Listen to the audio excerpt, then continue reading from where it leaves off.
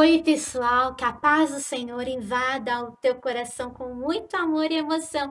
Eu sou a tia Vanessa e estamos no 37º culto infantil online. Isso, nós somos da Igreja Assembleia de Deus, o Ministério do Belém, aqui na cidade de Osasco, São Paulo. Hum, isso mesmo, nós estamos em um culto muito, muito especial. Um culto que estaremos louvando, adorando o nome do nosso Senhor Jesus e principalmente aprendendo sobre a palavra dele. Hoje estamos com uma proposta maravilhosa deste culto. Isso mesmo. E estamos muito, muito felizes porque você está participando junto com a gente.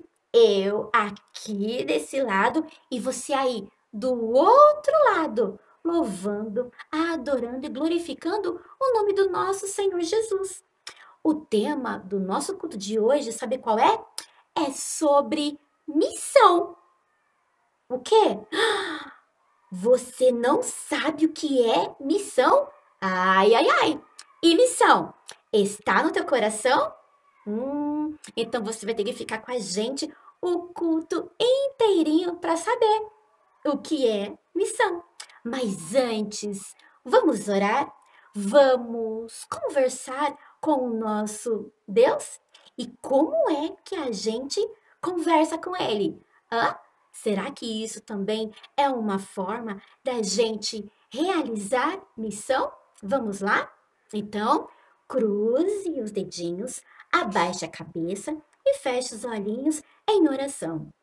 Senhor meu Deus, eu te agradeço por mais essa oportunidade de falar contigo.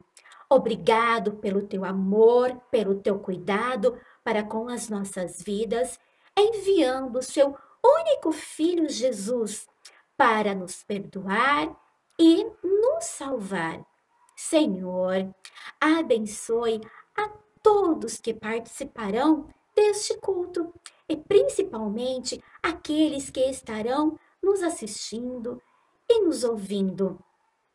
Pai, atenda ao pedido de cada criança.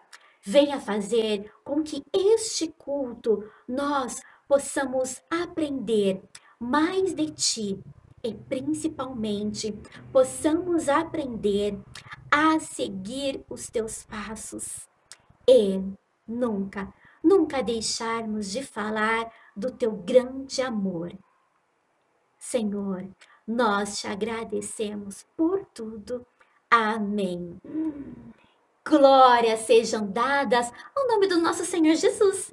Ah, mas antes, olha só, eu quero deixar um versículo para a meditação de vocês, que se encontra no livro de Marcos, capítulo 16 e o versículo 15, que diz assim, ó: Ide por todo mundo e pregai o evangelho a toda a criatura.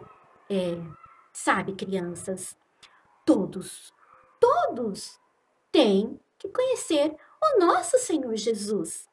E vocês sabiam que o nosso Senhor Jesus, ele deu uma ordem dizendo isso aos discípulos antes dele subir ao céu. E isso era uma responsabilidade deles. E vocês sabiam que isso também é uma responsabilidade nossa de levarmos o nome do nosso Senhor Jesus a todos até que ele volte? É, mas nós vamos saber sobre isso durante o nosso culto. Então, vamos à nossa programação de hoje? O louvor será com a pequena Tayla. Isso, a netinha do pastor Fernando, trazendo aí um lindo louvor. Olha só, a Darla também terá participação hoje, trazendo curiosidades missionárias. Eu já estou curiosa. A leitura bíblica será com a Gabriela, a Gabi, aqui da nossa igreja. Ah, mas nós estamos com uma convidada muito especial. Isso é a irmã Tati. A irmã Tati, é lá da igreja da Assembleia de Deus, lá de Sumaré, São Paulo. Tá um pouquinho longe, mas seja muito bem-vinda ao nosso culto, irmã Tati. E ela estará trazendo a ministração da palavra. E o encerramento será com a nossa tia Alê. Isso mesmo. Então, que Deus abençoe a todos, um ótimo culto e a oportunidade está com você, Tayla. Beijos. Tchau.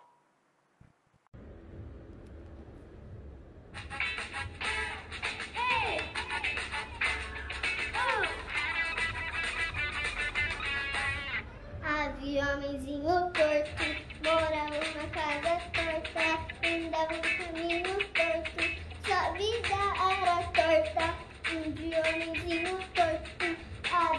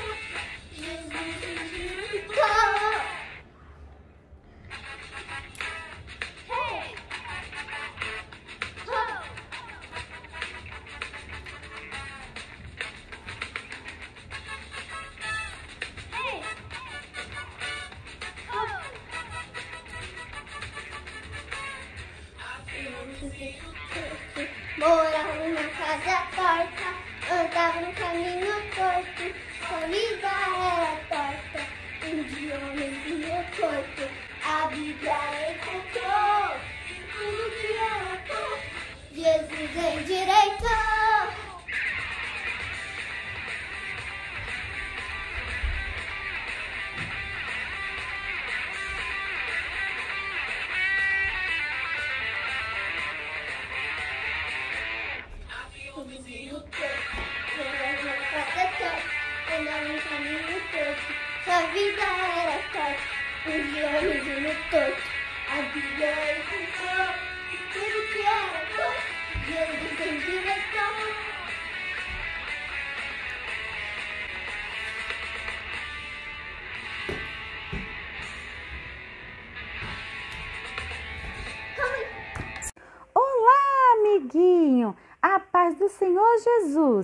Eu sou a Darla e estou muito feliz de ver você aqui no nosso culto infantil.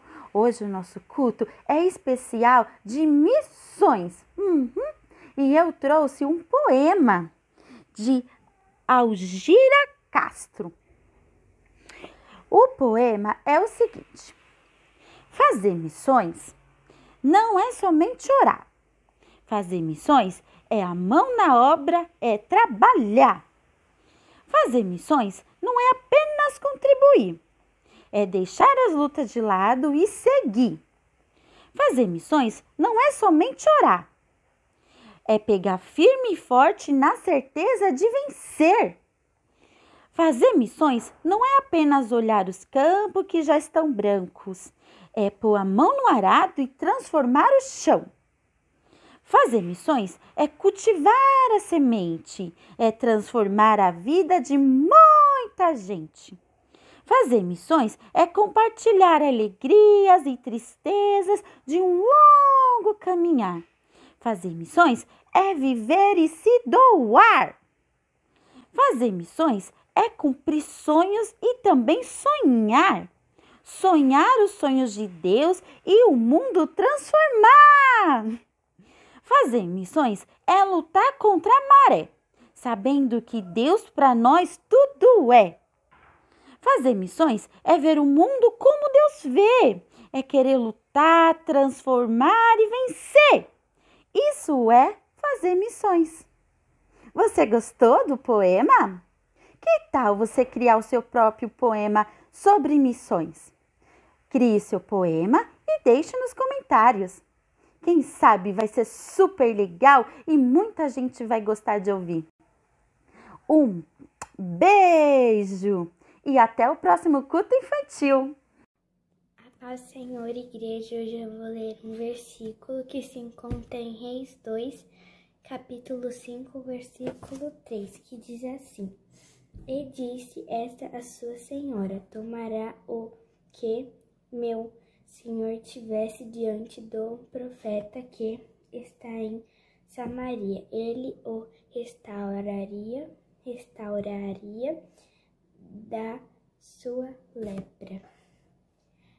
E agora nós vamos ver a palavra com a Tati. Beijos!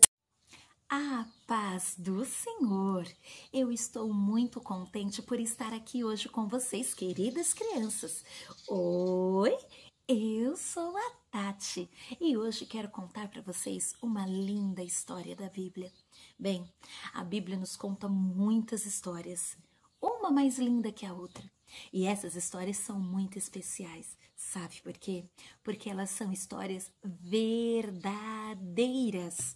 Sim, a Bíblia nos conta que Jesus viveu aqui neste mundo, viveu como nós, como pessoas, criança, cresceu, jovem e ele anunciou a palavra de Deus, falando para todas as pessoas tudo que Deus havia ensinado, tudo que Deus nos ensinou e Jesus contou para as pessoas.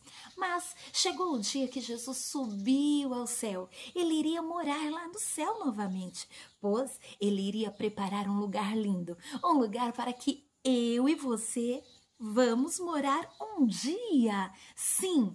E ele chamou seus amigos, os discípulos, se reuniu e disse: Queridos discípulos, eu irei para o céu, pois eu irei preparar um lugar para vocês. Mas eu estarei bem juntinho de vocês e eu vou deixar para todos vocês uma missão.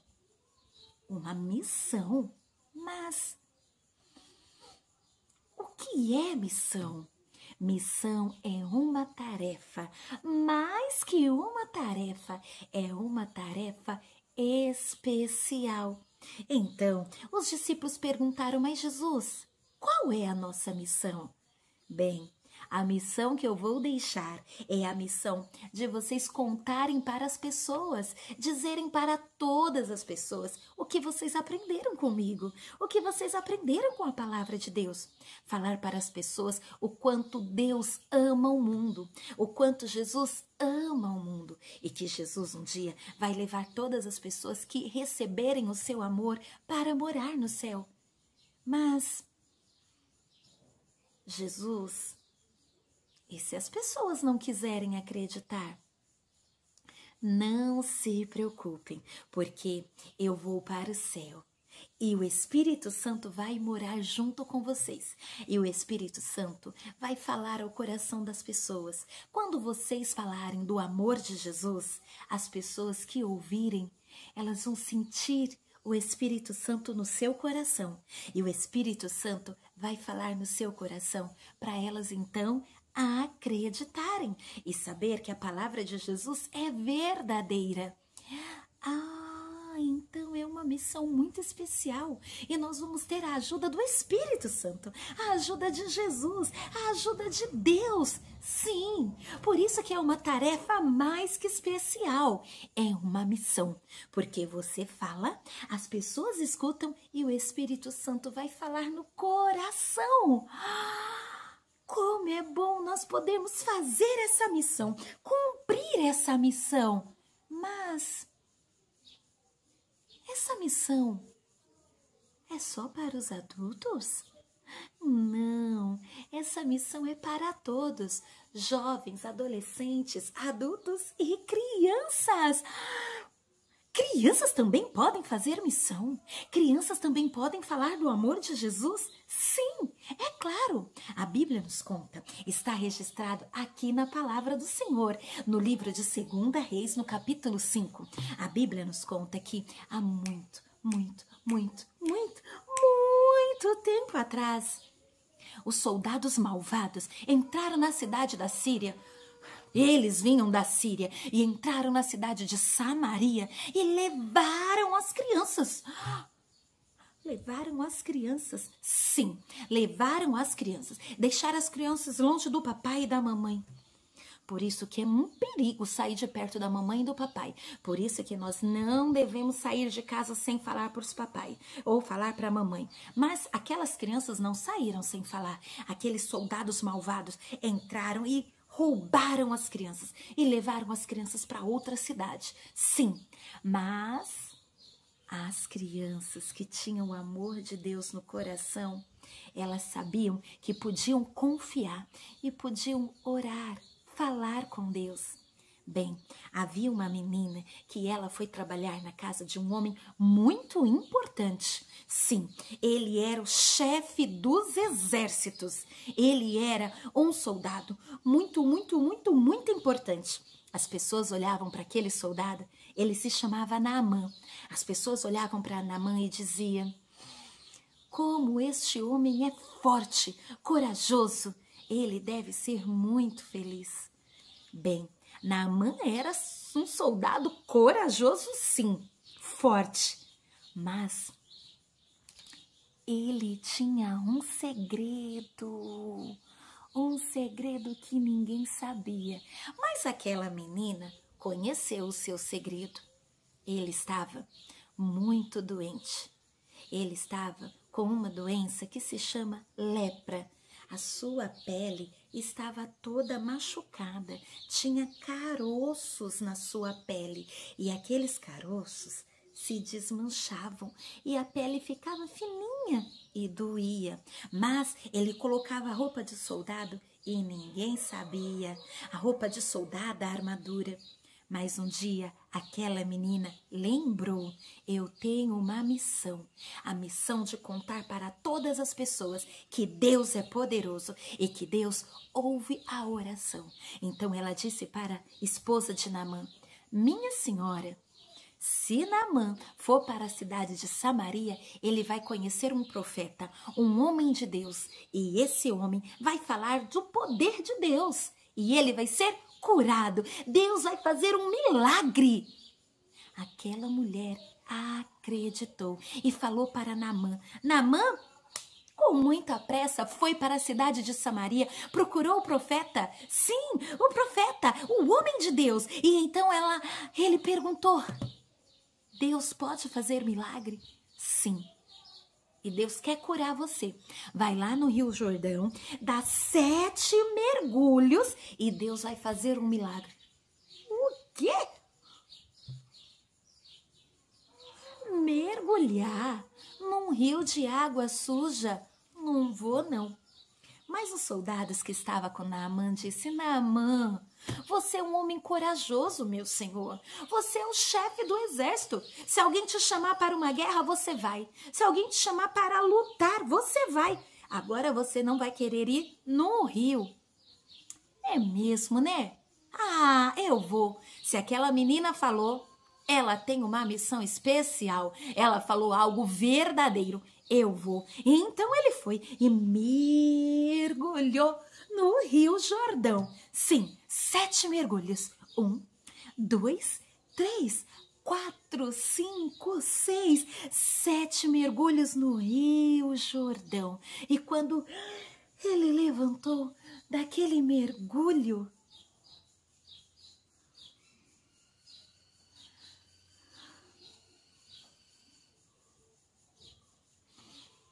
a sua pele estava curada, macia. Não tinha, não tinha, não tinha mais nenhum caroço. Deus curou Namã. Deus fez um milagre. Então Namã anunciou para os seus soldados e disse: Eu vou voltar para a Síria e eu vou dizer para todas as pessoas daquela cidade: Eu vou dizer que Deus faz milagre, que Deus ouve a oração, que Deus é poderoso e que não existe nenhum Deus como Deus de Israel, um Deus poderoso. E Naamã foi curado. E Naamã conheceu o poder de Deus, porque uma criança fez a sua missão, falar do amor de Deus para as pessoas. E você que está aí em casa agora, você também tem uma missão. Sim, falar que Jesus é bom. Convidar para ir para a escola dominical convidar para assistir hoje o nosso culto, convidar para ouvir o culto no próximo sábado, convidar para falar que Jesus é bom, que Jesus ouve a oração das crianças também e que Jesus pode e que Jesus faz milagre. Isso é fazer missão. E na história que nós vimos hoje, no livro de Segunda Reis, no capítulo 5, nós conhecemos uma menina que fez missão. E a Bíblia vai nos contar muitas histórias, muitas pessoas que fizeram missão. E eu, você, também podemos fazer missão. E que você possa, nesta tarde, receber o amor de Jesus, receber o abraço de Jesus. Sinta aí no seu coração o Espírito Santo que está junto de você. Que bom falar do amor de Jesus, do amor do Espírito Santo. A cada uma de vocês, crianças, receba o nosso abraço. O quê? Já acabou a história? Ai, ai, eu tava amando demais ouvir a irmã Tati contar essa história, contar a história daquela garotinha tão especial na Bíblia, não é? Aquela garotinha, ela foi usada por Deus e ousada também, porque ela foi com muita inteligência e muita sabedoria levar as informações importantes para que Naamã pudesse receber a cura, a cura daquela doença, né, que machucou toda a pele de Naamã. E daí, o que, que vocês acham, criança? Essa garotinha, ela foi uma missionária? Hum? Pois é. Sabe por quê? Porque ela levou a palavra de Deus e ela se tornou também uma missionária. Foi isso que a tia Tati quis mostrar, colocar para nós, né? Que levar, ser um missionário é o que? É levar, falar do amor de Deus, do que Deus tem poder, que Deus pode curar, que Deus pode resolver os problemas e que Deus é maravilhoso, não é verdade? E, a, e levar e falar do amor de Deus à humanidade é ser um missionário, tá bom? E aí, crianças, vocês é, já foram missionário algum dia? Hoje, por exemplo? Quer ser um missionário, criança? Olha, pega aí seu celular ou o celular da mamãe. Vocês não têm os amigos? Manda um WhatsApp, uma mensagem para os seus amigos falando do grande amor de Deus pela vida, de cada um deles. Que Deus, ele tem um plano da salvação para cada um e o amor de Deus é muito, muito, muito grande. Aí vocês também estão sendo missionário. Pois é. Este culto, nós falamos só um pouquinho sobre o que é missões, tá? Missões. Toda igreja deve ter um missionário, não é verdade?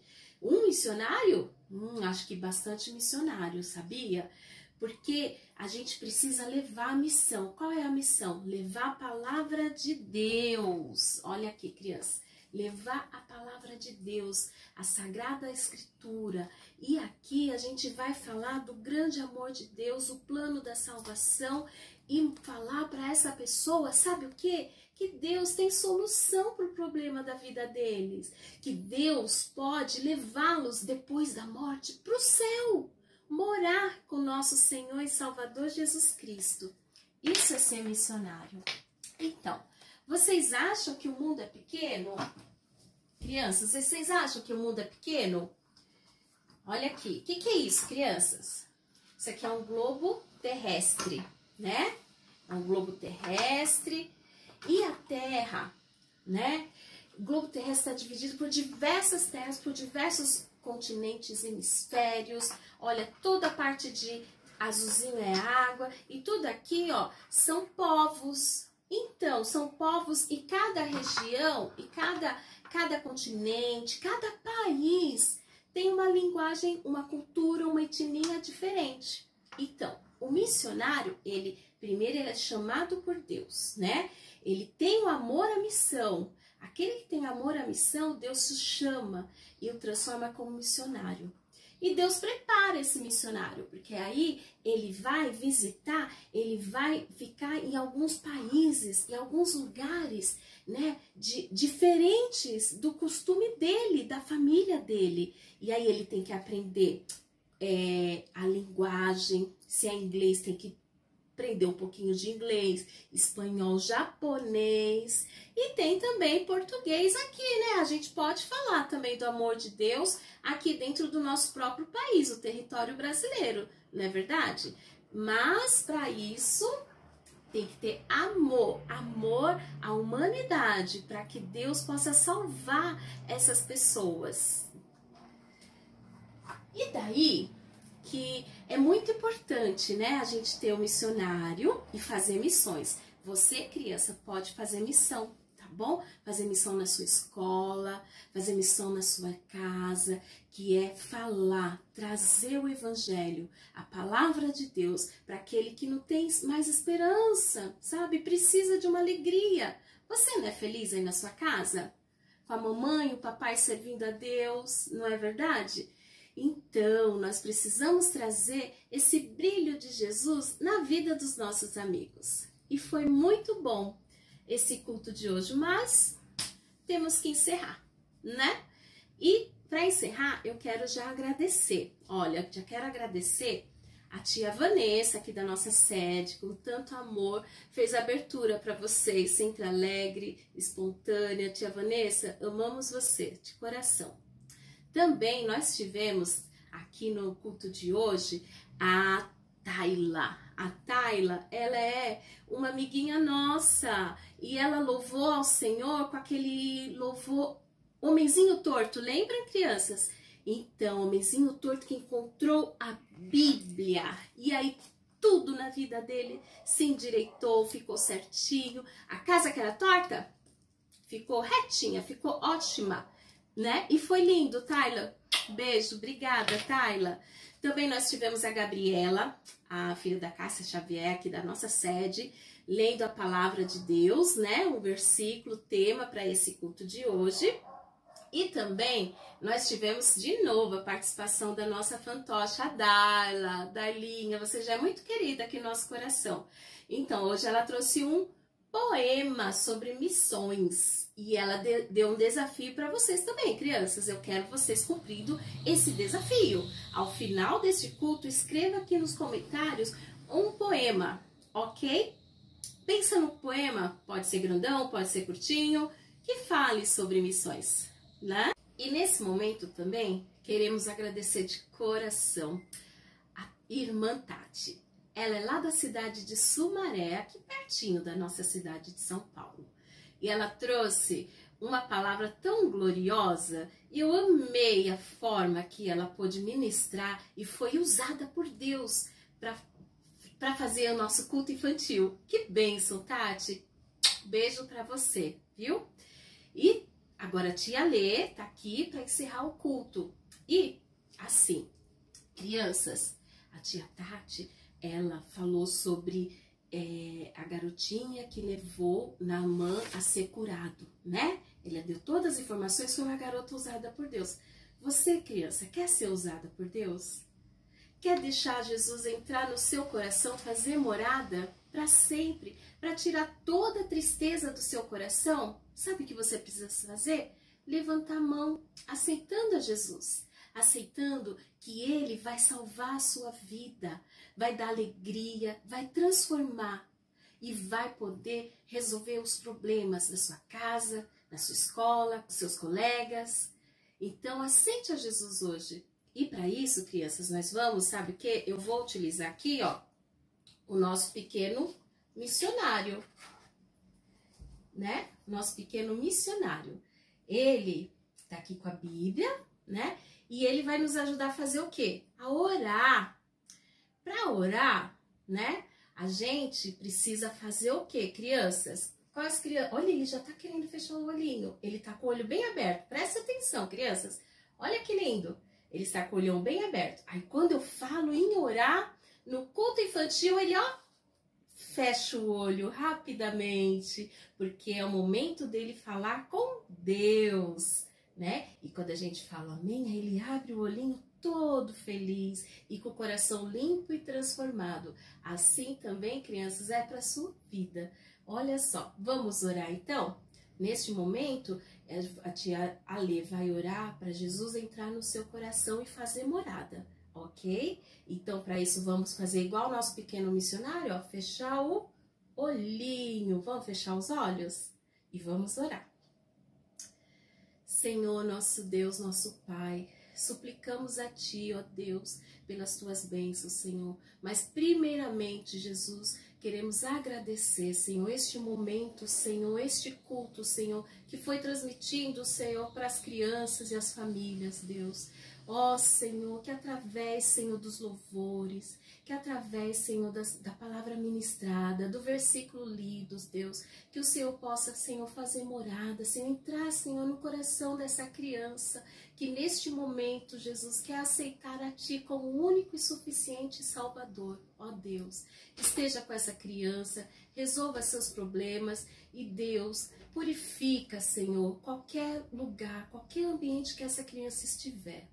Ó oh, Senhor, faça morada, Senhor, esteja, Senhor, nesta vida, ó Deus. Também agora, Jesus, eu te agradeço, Senhor, eu te agradeço a cada dia, Senhor, a cada criança, Senhor, que participou desse culto, Senhor, que fez, Senhor, esse culto, Senhor, ser, Senhor, para honra e glória do teu nome, Jesus, pois esse é o nosso propósito. Também, Deus, visita cada casa, cada lar, Senhor, cada coração, Senhor, cada família, Senhor, cada pai, cada mãe, cada avó, cada avô, cada tio e cada tia, Senhor, que esteja com essa criança, Senhor, cuida delas, ó Deus, resolva, Senhor, seus problemas, Senhor, ajuda o Senhor, a encontrar a solução, Deus, porque o Senhor é o Deus da solução, Deus da resposta, Senhor, continua a nos abençoar, Senhor, e fica conosco, Deus, dá-nos, Senhor, uma semana maravilhosa. Em nome de Jesus eu já te peço e te agradeço. Amém. Amém. Vamos abrir o olhinho? Abre o olho. Crianças, beijo da tia Lê. Obrigada por mais o culto, por vocês assistirem. Esteja conosco no próximo sábado, tá? Vai ser outro culto especial para vocês. Fiquem com Deus. Beijos.